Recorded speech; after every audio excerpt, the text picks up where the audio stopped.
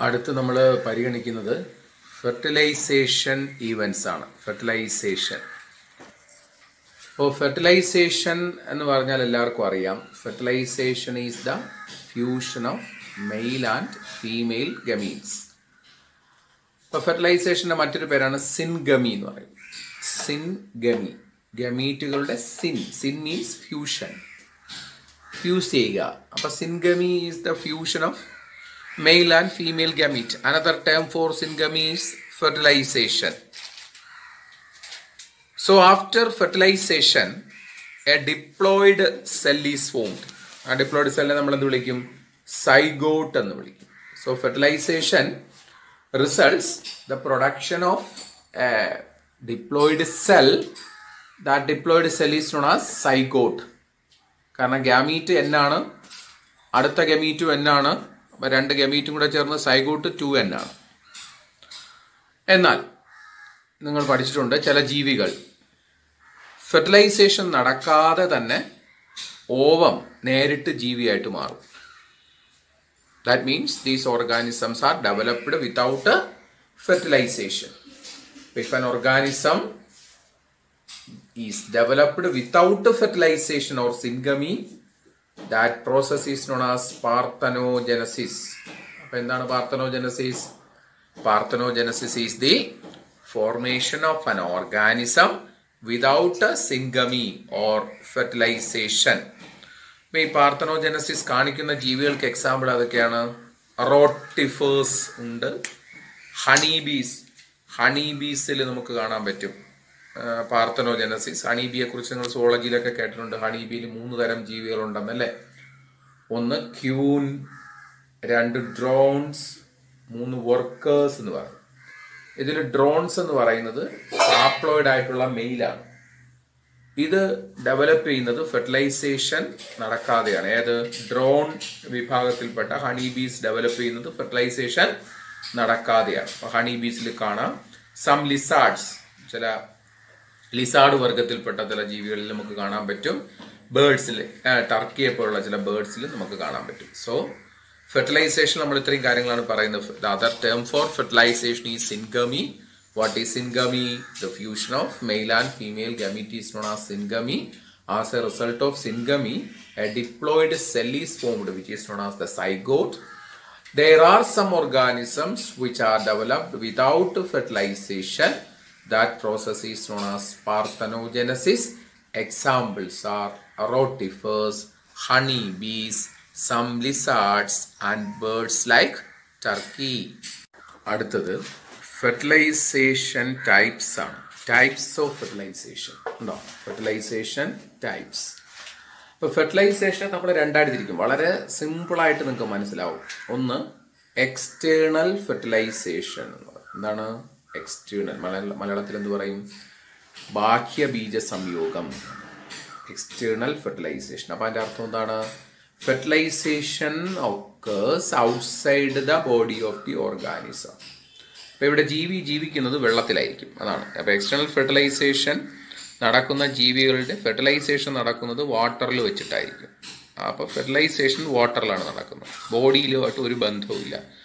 Female വെള്ളത്തിൽ ഇങ്ങനെ മുട്ടയിട്ട് വയ്ക്കും. മെയിൽ വെള്ളത്തിലേക്ക് സ്പേം ഇജക്റ്റ് ചെയ്യും. ഫെർട്ടിലൈസേഷൻ വെള്ളത്തിൽ വെച്ച് നടക്കും. So here the fertilisation occurs outside the body of the organism example ആരാണ്? Majority of algae because algae are water plants so mean majority of algae bony fishes നമ്മൾ രണ്ട് തരം fishes പഠിച്ചിട്ടില്ലേ? Cartilage ഫിഷസും ബോണി ഫിഷസും അപ്പൊ ഇവിടെ ബോണി ഫിഷസ് നമ്മളെ വീട്ടിലെ. സാധാരണ മീനുകൾ തന്നെ ചൂര ചാള ഇതെല്ലാം ബോണി ഫിഷസ് ആണ്. കാർട്ടിലേജ് ഫിഷ് എന്ന് പറയുമ്പോൾ നമ്മൾ തിരണ്ടി സ്രാവ് ഇതൊക്കെ വരുന്നതാണ്. അപ്പോൾ ബോണി ഫിഷസിൽ അതുപോലെ തന്നെ മിക്കവാറും ഫിഷസ് എല്ലാം ബോണി ഫിഷസ് ആണ്. ആംഫീബിയൻസിൽ തവളയെ പോലുള്ള ജീവികളിലൊക്കെ നമുക്ക് ഫെർട്ടിലൈസേഷൻ എവിടെയാണ് കാണുന്നത്? Outside the body of the organism. Such fertilization is known as external fertilization. ഈ എക്സ്റ്റേണൽ ഫെർട്ടിലൈസേഷന്റെ അഡ്വാന്റേജസ് എന്തൊക്കെയാണ്? അപ്പോൾ അതിൽ ഏറ്റവും പ്രധാനം രണ്ട് അഡ്വാന്റേജ് ഉണ്ട്. അഡ്വാന്റേജ് ഞാൻ എഴുതിയിട്ടില്ല ഞാൻ പറയുകയാണ് ശ്രദ്ധിക്കുക.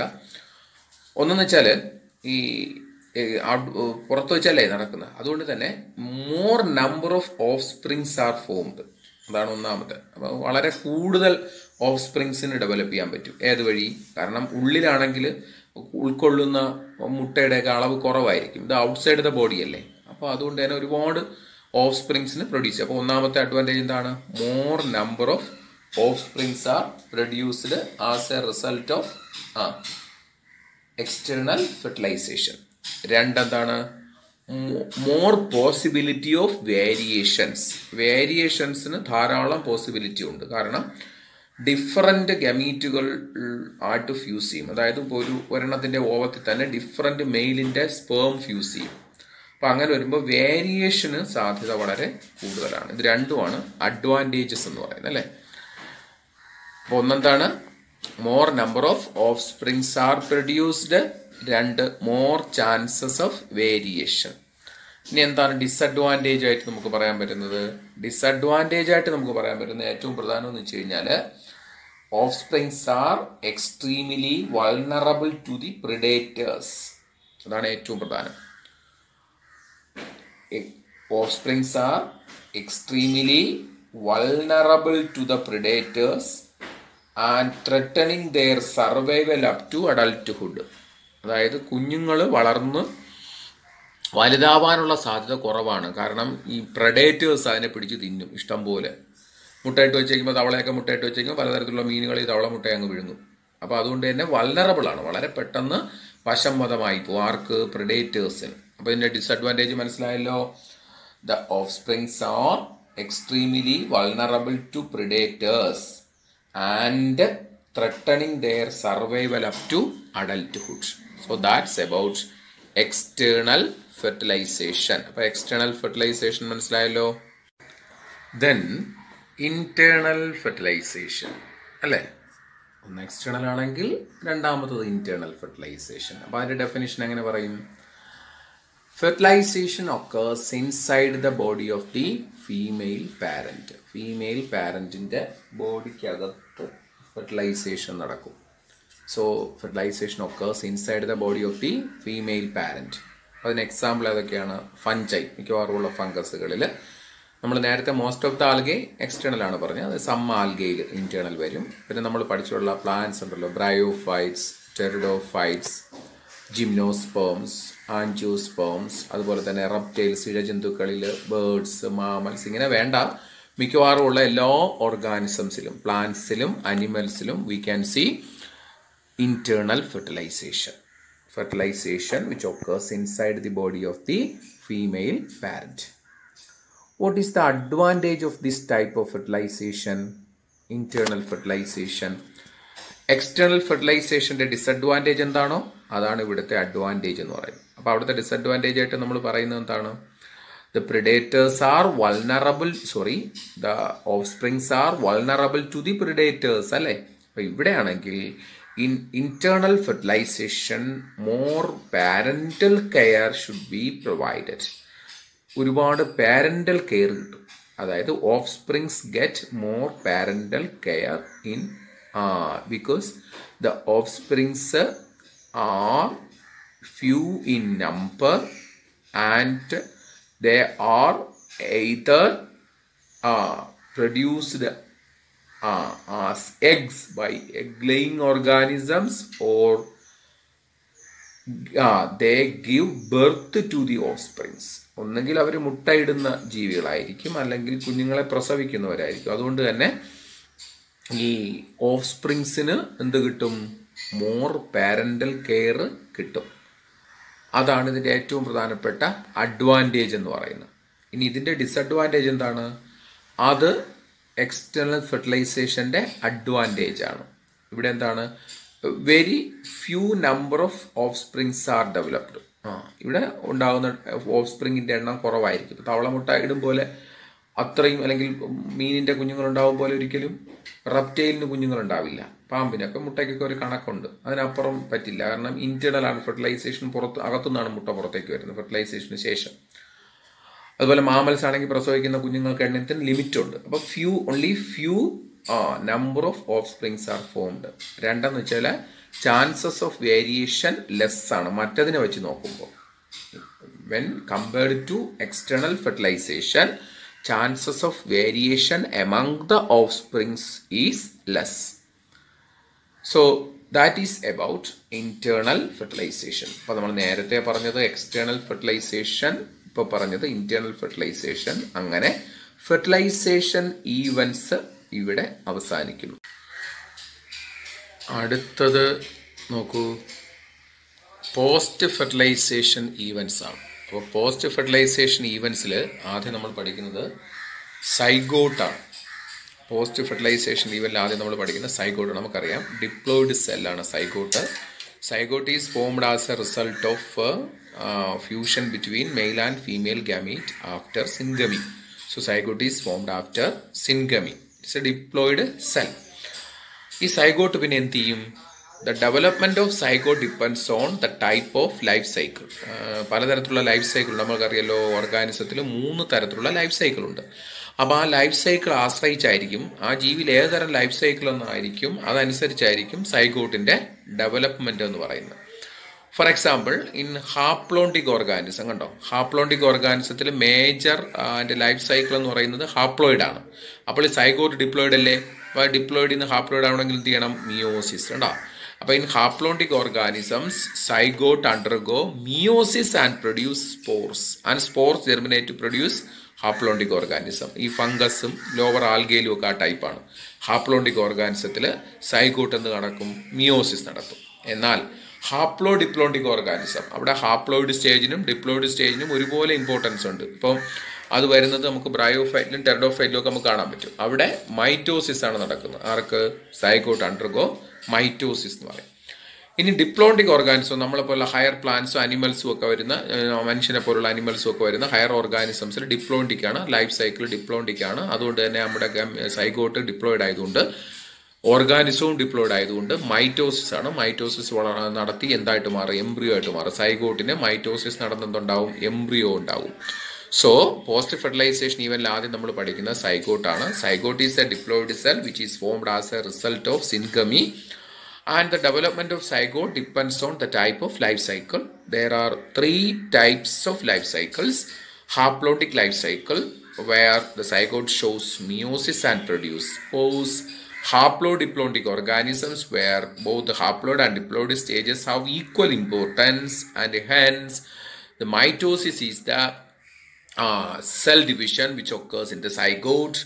And in the third one, that is diplodic organisms, where the zygote undergo normal type of cell division or the uh, common type of cell division is known as uh, equational division that is mitosis and produce an embryo so that's about the development of the zygote ഇനി നമ്മൾ സൈഗോട്ടിന്റെ significance ഒന്ന് നോക്കിയാലോ പ്രാധാന്യം എന്താണ് സൈഗോട്ടിന്റെ what is the significance of zygote സ്ഥിരം ചോദിക്കുന്ന ചോദ്യമാണ് കേട്ടോ അപ്പോൾ നമുക്കതൊരു മൂന്നാൽ പോയിന്റ് ആയിട്ട് നമുക്കതിനെ കൺക്ലൂഡ് ചെയ്യാം. Significance of zygote one it's a vital link between two successive generations രണ്ട് തലമുറകൾ തമ്മിലുള്ള ബന്ധം കാണിക്കുന്ന കണ്ണിയാണ്. ആര്? Zygote zygote is a link it's a link between two successive generations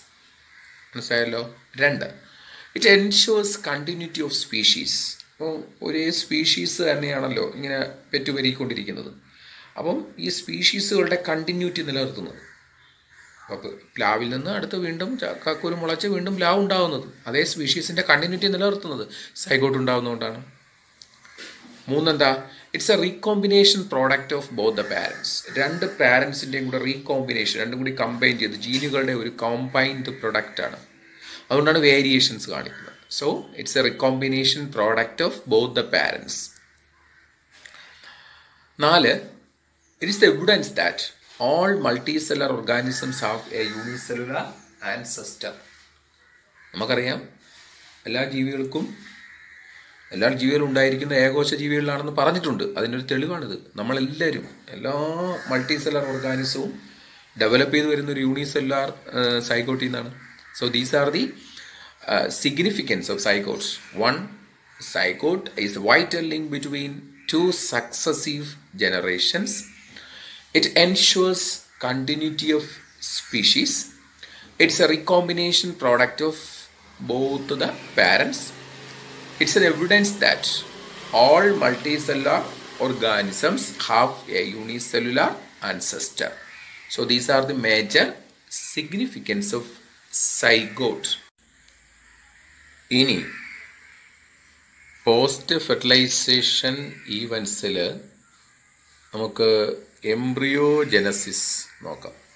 Embryogenesis what is embryogenesis development of embryo എവിടെ നിന്ന് from zygotes so development of embryo or formation of embryo from the zygote known as embryogenesis so embryo is formed as a result of cell division and cell differentiation രണ്ട് കാര്യങ്ങൾ കൊണ്ടാണ്. ഒന്ന് zygote ഒറ്റ unicellular ആണല്ലോ. That zygote undergo cell division ആദ്യം cell division നടക്കും.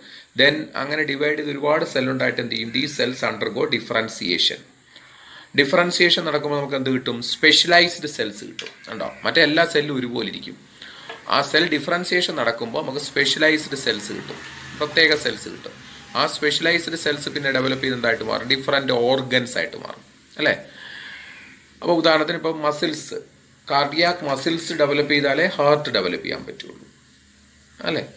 അതുപോലെ ഓരോന്നും ഇപ്പം ന്യൂറോൺസ് ഡെവലപ്പ് ചെയ്താലേ ബ്രെയിനിന് ഡെവലപ്പ് ചെയ്യാൻ പറ്റുള്ളൂ. അപ്പം ന്യൂറോൺസ് ആണ് ആ സ്പെഷ്യലൈസ്ഡ് സെൽസ് എന്ന് പറയുന്നത്. ബ്രെയിൻ ഈസ് ദ ഓർഗൻ എന്ന് പറയുന്നത്. അപ്പം അതുപോലെ സെൽ ഡിഫറൻസിയേഷൻ നടന്നിട്ട് സ്പെഷ്യലൈസ്ഡ് സെൽസ് ഉണ്ടാകും. ന്യൂറോൺസിനെ പോലെ അല്ലെങ്കിൽ എന്താ പറയുക കാർഡിയാക് മസിൽസിനെ പോലെ അല്ലെങ്കിൽ റീനൽ സെൽസിനെ പോലെ നെഫ്രോൺസിനെ പോലെ അല്ലെങ്കിൽ ഹെപ്പാറ്റിക് സെൽസിനെ പോലെ അങ്ങനെ different types of specialised cells ഉണ്ടാകും. ഈ സ്പെഷ്യലൈസ്ഡ് സെൽസ് എല്ലാം കൂടെ ചേർന്നുണ്ടാകും ഓർഗൻസ് ഉണ്ടാകും. ഓർഗൻസ് ചേർന്നുണ്ടാകും ഓർഗൻ സിസ്റ്റം ഉണ്ടാകും. ഈ ഓർഗൻ സിസ്റ്റത്തിന്റെ ആൾ ടുഗദർ ആണ് ഹയർ ഓർഗാനിസംസ് എന്ന് പറയുന്നത്. So embryogenesis is the development of embryo from the zygote by cell division and cell differentiation cell differentiation result specialised cells specialised cells give organs organs from the organ systems. And organ systems all together give the organism. അടുത്തുള്ളത് നിങ്ങൾക്കറിയാവുന്ന കാര്യമാണ്. എന്താണ്? ഒവി Paras animals എന്ന് പറയുന്നത്. നിങ്ങൾക്കറിയാം? അത് R ലേ eggs മുട്ടയിടുന്ന ജീവികൾ. Animals which lay eggs are known as oviparous animals example ആരാണ് റെപ്റ്റൈൽസും ബേർഡ്സും പ്രധാനമായിട്ടും ഒവി പാരസ് ആണ്. അവിടെ പ്രത്യേകം എന്താണ്? Eggs they lay eggs these eggs are covered by a calcareous shell ഉണ്ടോ മുട്ട മുട്ടയ്ക്ക് ചുറ്റും കാൽഷ്യത്തിന്റെ ഒരു തോടുണ്ട്. ഒരു മുട്ടത്തോട് കണ്ടിട്ടില്ലേ? കോഴിമുട്ടയിലൊക്കെ ഉള്ളതുപോലെ അപ്പോൾ അങ്ങനെ ഒരു തോടുകൂടി എന്തിനാണ്? അത് പ്രൊട്ടക്ഷന് വേണ്ടിയിട്ടാണ്. Because the development takes place outside the body of the parent പാരന്റിന്റെ ബോഡിക്ക് പുറത്ത് വെച്ചാണ് ഇത് വിരിയുന്നത്. അപ്പോൾ അതിന് മുമ്പ് അതിന് പ്രൊട്ടക്ഷൻ വേണം. So eggs covered by a calcareous shell. In addition to the calcareous shell, the egg possesses yolk. Y-O-L-K yolk.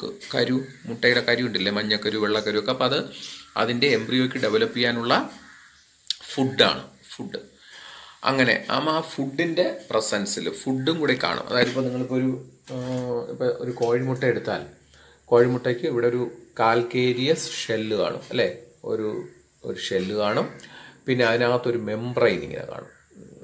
ഒരു ഒരു എന്താ പറയുക നിങ്ങൾക്ക് എല്ലാവർക്കും അറിയാം. ഒരു സെമി പെറിമിൽ മെംബ്രൈൻ കാണും. അപ്പോൾ ഇത് കാൽക്കേരിയസ് ഷെൽ ഇതാണ് കാൽക്കേരിയസ് ഷെൽ എന്ന് പറയുന്നത്. ഇതാണ് മെംബ്രൈൻ എന്ന് പറയുന്നത്. മെംബ്രൈൻ അല്ലേ? മെംബ്രൈൻ എന്ന് പറയുന്നത്. പിന്നെ ഇതിനകത്ത് മൊത്തം യോക്കാണ് യോക്ക് എന്ന് പറയുമ്പോൾ നടുക്കൊരു മഞ്ഞക്കരു അല്ലേ? യെല്ലോ യോക്ക് കാണും. പിന്നെ വൈറ്റ് കാണും. ഇതിന്റെ എംബ്രിയോ എന്ന് പറയുന്നത് ഇത്രയേ ഉള്ളൂ കേട്ടോ. ദിസ് ഈസ് ദ എംബ്രിയോ ഈ എംബ്രിയോ വളർന്നു വേണം പുതിയ കോഴിയെങ്കിൽ കോഴി ഏത് പക്ഷി മറ്റേതെങ്കിലും പക്ഷിയെങ്കിൽ പക്ഷി പാമ്പെങ്കിൽ പാമ്പ് എന്താണോ അത് ഡെവലപ്പ് ചെയ്യാൻ. അപ്പോൾ എംബ്രിയോ വളരെ ചെറുതാണ്. ഇത് ഇത് എംബ്രിയോയ്ക്ക് കഴിക്കാനുള്ള ഫുഡാണ് ഈ യെല്ലോ കളറിലിരിക്കുന്നത് ഇത് എംബ്രിയോയ്ക്ക് കഴിക്കാനുള്ള ഫുഡാണ് വൈറ്റ് കളറിലിരിക്കുന്നത് അപ്പം അങ്ങനെ ഫുഡോടുകൂടി അല്ലെങ്കിൽ ഒരു കാൽക്കേരിയ ഷെല്ലോടുകൂടി പുറത്തേക്ക് മുട്ടയെ ഉത്സർജിക്കുന്ന അല്ലെങ്കിൽ എഗ് ലേ ചെയ്യുന്ന ജീവികളെ ഒവി പാരസ് അനിമൽസ് എന്ന് പറയും. So in oviparous animals after incubation a period of incubation കുറേ നാൾ ഇങ്ങനെ അടയിരിക്കില്ലേ നമ്മൾ പറയില്ല ആ ഇൻക്യുബേഷന് ശേഷം യങ്ങോൺസ് ഹാച്ച് ഔട്ട് യങ്ങോൺസ് വിരിഞ്ഞ് പുറത്തു വരും. ആ ഇൻക്യുബേഷൻ പീരീഡിൽ എടുക്കാനുള്ള ഫുഡാണ് ഇവിടെ ആ യോക്കിനകത്ത് ഇരിക്കുന്നത്. അപ്പം ഇങ്ങനെയുള്ള അനിമൽസിനെ എന്ത് പറയും? ഒവിപാരസ് അനിമൽസ് എന്ന് പറയും. എക്സാമ്പിൾ എല്ലാവർക്കും അറിയാലോ. Reptiles and birds are common example for oviparous animals. oviparous പാരസ് പറഞ്ഞു കഴിഞ്ഞാൽ സ്വാഭാവികമായിട്ടും അടുത്തത് വിവി പാരസ് അനിമൽസ് ആയിരിക്കും അല്ലേ? എന്താണ് viviparous animals the give birth to young ones കുഞ്ഞുങ്ങളെ പ്രസവിക്കും. Give birth to young ones ആര്? വിവി പാരസ് അനിമൽസ് എക്സാമ്പിൾ ആരാണ്? മെജോറിറ്റി ഓഫ് മാമൽസ് അങ്ങനെ പറയുന്നത് എല്ലാ മാമൽസും വരില്ല കേട്ടോ. അതുകൊണ്ടാണ് മെജോറിറ്റി ഓഫ് മാമൽസ് ഇപ്പം നിങ്ങൾക്ക് അറിയാവുന്ന രണ്ട് മാമൽസ് ഉണ്ട്. എക്കിഡ്ന പ്ലാറ്റിപ്പസ് ഇത് രണ്ടും എഗ് മാമൽസ് ആണ്. എഗ് മാമൽസ് കേട്ടോ? അപ്പോൾ എഗ് മാമൽസ് ആയിട്ടുള്ള എക്കിഡ്നയും പ്ലാറ്റിപ്പസും ഉണ്ട്. So in majority of mammals the organisms give birth to young ones cue birth to young ones. അടുത്തത് നമ്മളിപ്പോൾ പറഞ്ഞതാണ് വി വി പാരസ് അനിമൽസ് എന്താണെന്ന് മനസ്സിലായല്ലോ. അപ്പോൾ ലെക്കിഡ്നയും പ്ലാറ്റിപ്പസ് ഒഴിച്ചുള്ള ബാക്കി എല്ലാ മാമൽസും വി വി പാരസ് ആണ്. ഈ വി വി പാരസ് അനിമൽസിന് ഒരു പ്രത്യേകതയുണ്ട്. എന്താണ്? അവരുടെ അവർക്ക് ഒരു അഡ്വാന്റേജസ് ഉണ്ട്. എന്താണ്? ആ proper embryonic care and protection the chances of survival of young greater in greater in viviparous animals. In in viviparous animals get proper embryonic care and protection അങ്ങനെ വയറിനകത്തല്ലേ വളരുന്നത്. നല്ല കെയറും പ്രൊട്ടക്ഷനും കിട്ടും. അങ്ങനെ വരുമ്പോൾ the chances of survival of young ones കുഞ്ഞുങ്ങൾ ഉണ്ടാകാനുള്ള വളർന്നു വരാനുള്ള സാധ്യത വളരെ കൂടുതലാണ്. മറ്റേ മുട്ടയിടുന്നതാണ് മുട്ടയൊക്കെ പല ജീവികളും പിടിച്ച് തിന്നും. ഏത്? ഒവി പാരസ് അനിമൽസ് അപ്പോൾ വിവി പാരസ് അനിമൽസിൽ അങ്ങനെ വരില്ല. The proper embryonic care and protection there the chances of viviparous animals, in viviparous animals, there is proper embryonic care and protection and the chances of survival of young one is greater in viviparous animals അങ്ങനെ ഇത്രയും ഭാഗത്തോടു കൂടി ഇനിയുള്ളത് പ്ലാന്റ്സിലെ sexual റീപ്രൊഡക്ഷനുമായിട്ട് ബന്ധപ്പെട്ട കാര്യങ്ങളാണ് നമ്മൾ അടുത്ത അധ്യായത്തിലാണ് പഠിക്കുന്നത് ഈ ചാപ്റ്റർ ഇവിടെ അവസാനിക്കുന്നു first chapter reproduction in organisms ഇത്രയും കാര്യങ്ങൾ റീപ്രൊഡക്ഷൻ ഇൻ ഓർഗാനിസംസിൽ വ്യക്തമായിട്ട് പഠിക്കുക.